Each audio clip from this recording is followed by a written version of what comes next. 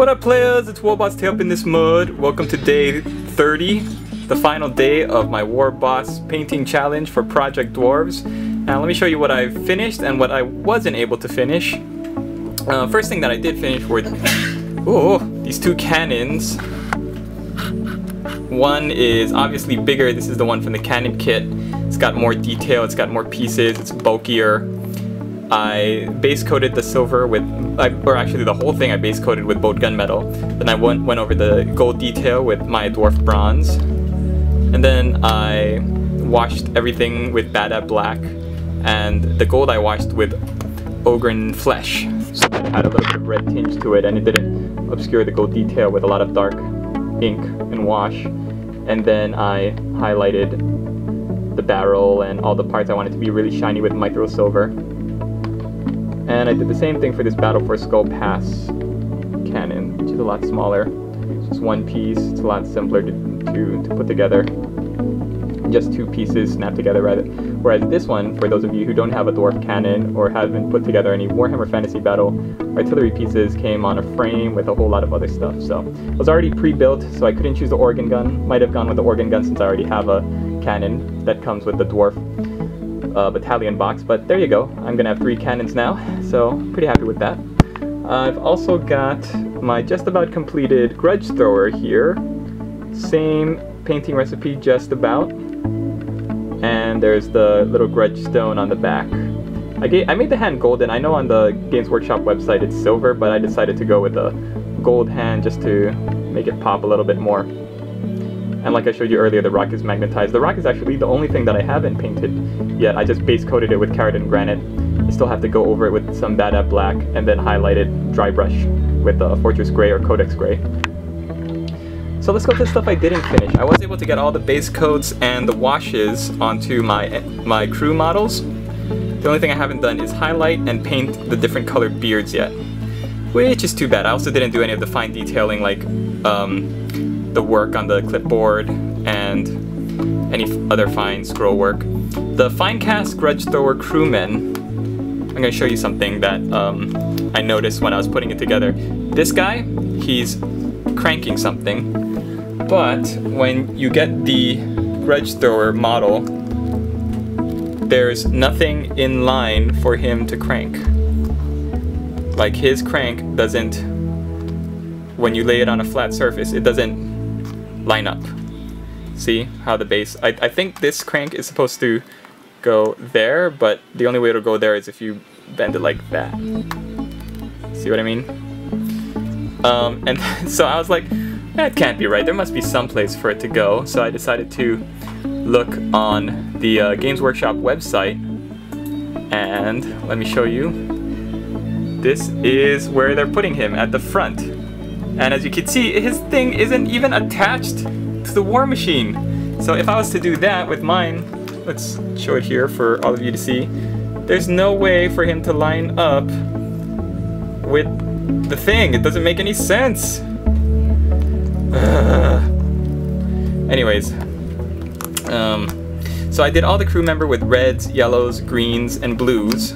The blue to specify that they are with a range projectile specialties units.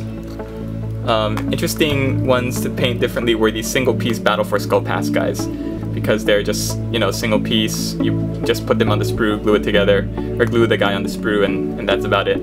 Rather than these multi-part crew members where you have to actually pick different arm options and put them together.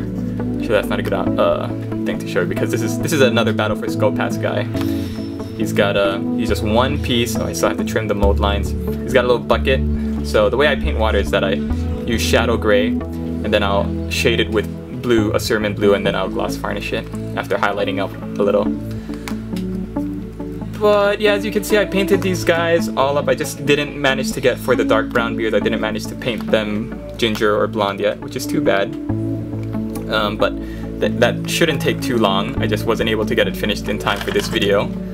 And as you know, it's the finished video of, the last video for my November painting project, so I wanted to get this out while there is still time. Looking at my clock, there's still 8 minutes left. So, um, Wednesday, November 30th, 8 minutes on the clock, I decided to stop. is a single piece Battle for Skull Pass guy. I might paint up one of his power fists here, it, red, as an homage to the Crimson Fists, but I might not. I just thought it was funny they gave they gave these guys power fists. I think they are. I guess they're supposed to be gauntlets, but why would a dwarf engineer be wearing a gauntlet wherein everybody else has regular gloves? Makes no sense because he's not wearing any other armor except the regular dwarf chainmail skirt, so... Games Workshop. I also haven't been able to finish this guy yet, my battle standard bearer. And all I have to do for him really is the snakebite leather and um, skull white non-metallic gold for the middle of the banner. Everything else is pretty much done. So that's all we need for him. Also, what I didn't manage to finish was this metal Rune Lord, which I um, started the beard for, but I just wasn't able to get any further than that. So he'll probably take me another hour to to get the base coat washes and highlights done on him. But um, it's a cool model. I don't know. I thought he was like swinging a hammer, but I don't know if this is supposed to be like a stamp that he's hammering down or something. Uh, hammering a rune onto a piece of metal or or on, into the ground. I don't understand it. If he's like in the mid swing going down or up. If anybody understands what this model is supposed to be doing, then I'd love to know. So that's it for my dwarf project. And as you can see here, with my slayers in the back, my horde of slayers grew from, I think it was like 10 with the Battle for Skull Pass plastic guy and these three command group guys in the front to now I got in my mail today 60. No, not 60. Um, 30. I got 30. Yeah, because I ordered on eBay and I was able to find this guy selling packets of five for only, I think it was like $10 each, which is, you know, a steal considering you get three in a blister or two or three in a blister. I don't remember how, how much the regular troll slayers go into a blister, but for like, you know, 15, 16, 17, 18 with the price markup nowadays. So I guess he was just getting rid of all of them, and I was like, I'll take all of them. And this was like at the beginning of November, and he just wasn't able to mail it out to me until now. So any guy you see that's on a regular base without the sand on it yet is uh, a new guy that I just added to to my army. But I'm gonna base them, spray them, and hopefully paint them all. And um, yeah, it, it won't be with this project though, because this project is over. So looking back in the last month of painting, I was able to get one Lord character completely done. I was also to finish, I guess if you want to count the Thane, the Dwarf Lord in the Battle for Skull Pass plastic set, I finished him.